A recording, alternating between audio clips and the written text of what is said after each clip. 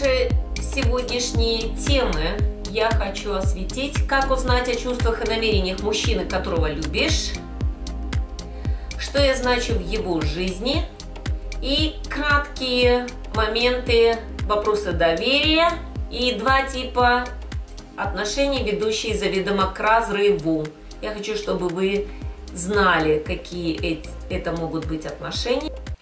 Для начала я хочу вам сказать о следующем. Как мы понимаем отношения с мужчиной?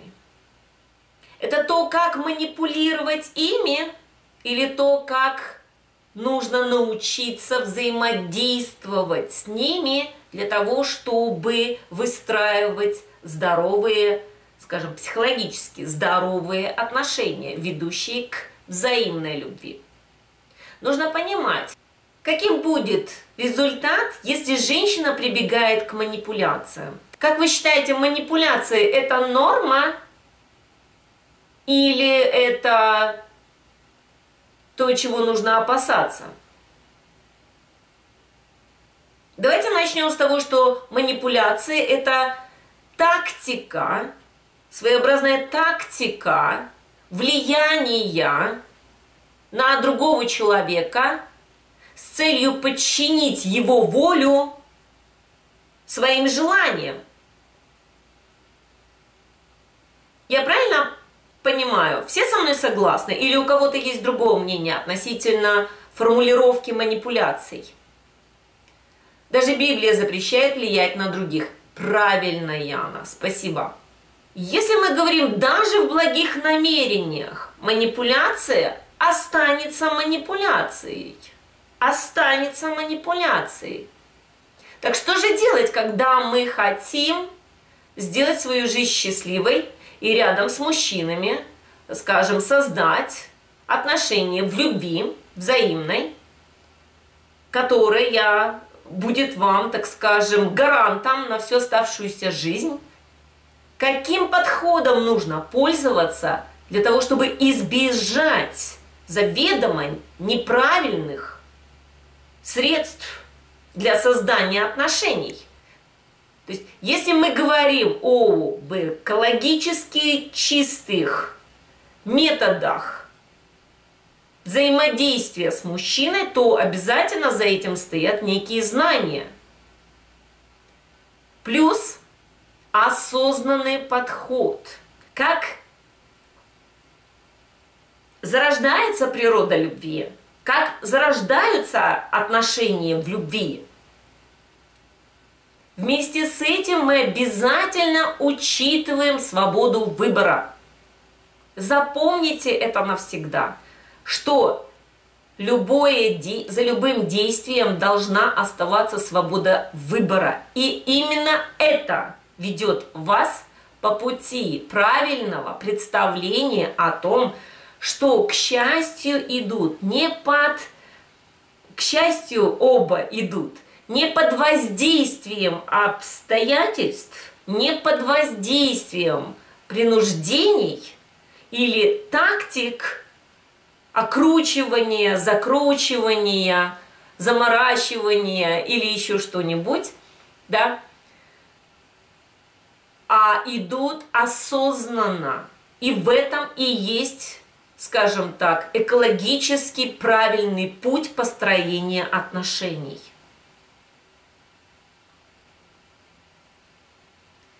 То есть за этим стоит еще нечто, что нужно понимать, что природа любви имеет свои законы. Любовь – это некий феномен, который нужно научиться понимать.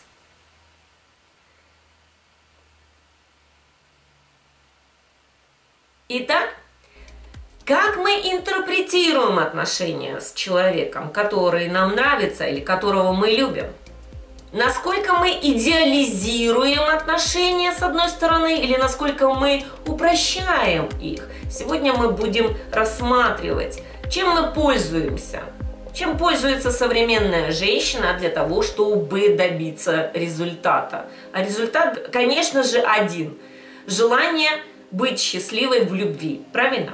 Итак, тема «Как узнать о чувствах и намерениях мужчины, которого любишь?»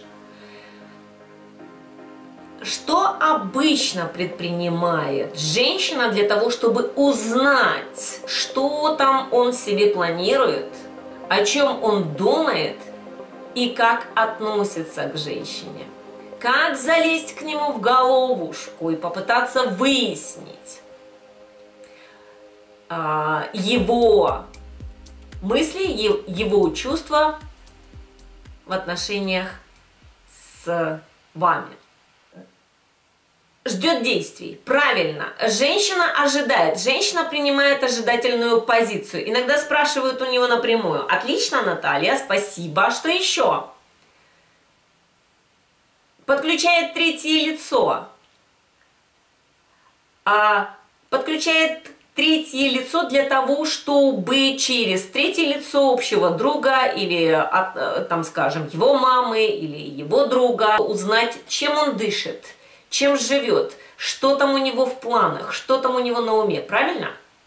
Очень часто женщина понимает, что за э, какими-то изменениями в отношениях э, есть еще другая женщина.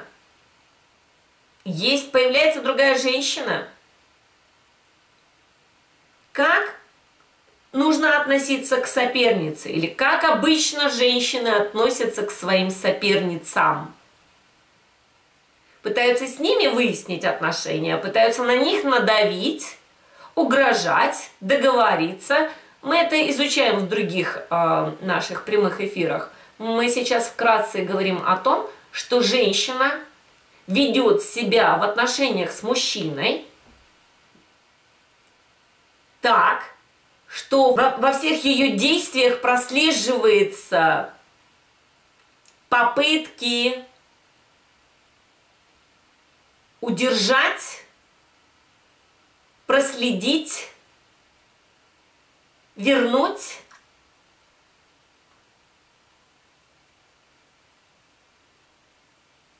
Фактически женщина становится охотницей, хищницей, которая делает все для того, чтобы этот мужчина принадлежал ей – Но позволит ли себе мужчина стать чьей-то добычей?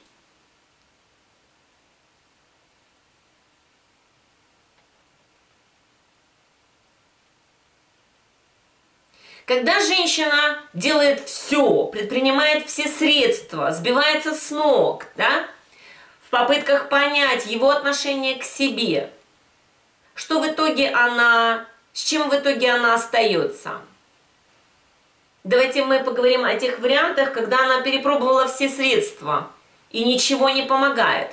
Что, собственно, к чему она прибегает в итоге? Ждет, когда он образумится? Начинает доказывать ему свою незаменимость, преданность? Отказывается от общения с другими людьми, объявляет обед одиночества – мой знакомый говорит, что лучший способ привлечь внимание женщины, которая нравится, это игнор. Это красиво. Женщина должна, тоже должна игнорировать. Это ведь манипуляция. Да, спасибо, Наталья, за ваш вопрос. Дело в том, что все, что подразумевает воздействие на другого человека есть манипуляция. Даже маленькая такая, но манипуляция. Ну смотрите, скажем так, если все ваши методы взаимодействия с мужчиной там промолчать, здесь, а, значит, а, стимульнуть его внимание через ревность, показаться на общей тусовке с другим мужчиной – или там молчать по телефону, или ничего не отвечать, или ответить, но так, чтобы у него там челюсть отвисла, или так, значит, выглядеть сексуально, чтобы там он голову свернул, когда увидел меня на улице. То есть все это средство манипуляций. Далее, к чему прибегает женщина, помимо того, что она объявляет обед одиночества? Она пытается стать мужчине лучшим другом. Она подчеркивает для него э, значимость, ее значимость в его жизни. И, конечно же, подчеркивает его значимость в ее жизни – Она заботится о его настроении, развлекает, пытается сделать его счастливым. Во всем помогает, во всем помогает. О чем я хочу сказать? Мы сейчас рассмотрели с вами действия и поступки, за которыми стоит, как бы там ни было, ошибочные, недальновидные действия, которые мы изучаем как раз-таки на вебинаре «Ошибки любви». Поэтому, извините, но я должна прорекламировать э, сейчас наше ближайшее мероприятие и должна вас оповестить о следующем, что огромное количество ошибок, которые совершает женщины на первых этапах построения взаимоотношений, где сразу же отношения, э, так скажем, э, уже берут крен и берут неправильное направление. То есть вы для мужчины уже становитесь неинтересны только потому, что совершаете совершенно нелепые ошибки, о которых не знаете. Итак, возвращаемся к теме. Прибегая ко всем этим действиям, получается ли как-то повлиять на его чувство любви и признательности? Способен ли мужчина слышать, понимать значимость, вашу значимость в его жизни? Если у кого-то есть ответ – Помогают ли те меры, которыми вы уже пользовались? А скажем, те средства манипуляции. Нет, не помогают. Не помогают. Еще? Мы сейчас подробнее рассмотрим эти средства. Не особо. Да. Такое впечатление, что не помогает ничего. Алина.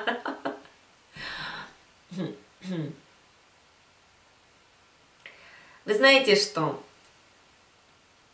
а, Алина, вот относительно вашей реплики. Если мужчина хочет, то будет делать, если не хочет, то не будет. Но не делает, понимаете? Один сменяет другого, и они ничего не делают. Почему, Алина? Нужно же задаваться вопросом, либо я какая-то не такая, либо я встречаю таких мужчин, либо я не знаю вообще, что с ними делать. Согласитесь, что вы не знаете, что с ними делать. Потому что он не любит.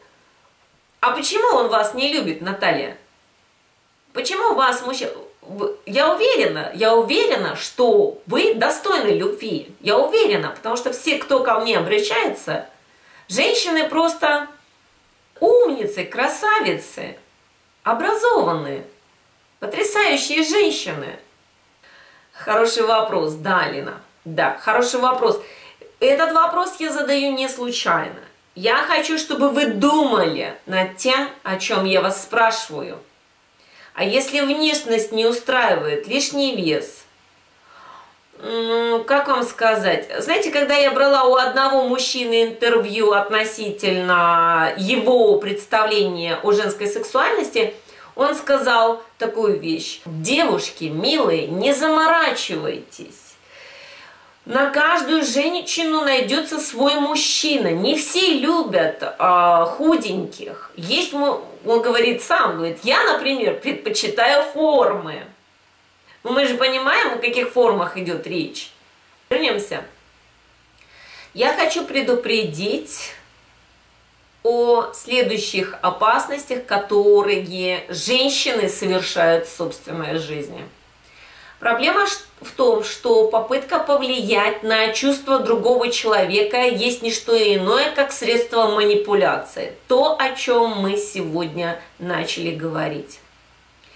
Но современная женщина не может видеть дальше. Вот она видит перед собой только приманку и готова э, использовать все средства только для того, чтобы добиться своего. Я хочу предупредить лишний раз. Манипулировать кем-то – это значит запускать бумеранг, который имеет свойство возвращаться.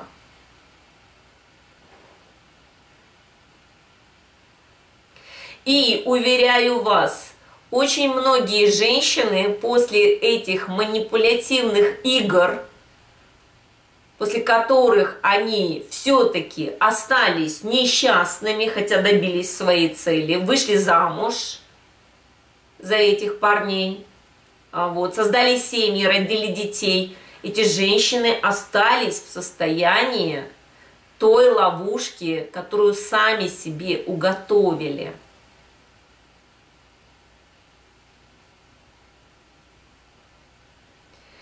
Так а, есть момент влиять на отношения, а есть момент строить их. Вы чувствуете разницу? То есть это два диаметрально противоположных вектора, которые внешне похожи, но имеют огромный, принципиальный результат – Потому что в первом случае, когда вы влияете, вы получаете иллюзию тех отношений, на которые вы навлияли. Если вы строите отношения согласно тем правилам, которые должны быть в отношениях, существовать между мужчиной и женщиной, вы таким образом понимаете, что взаимная любовь между вами формируется –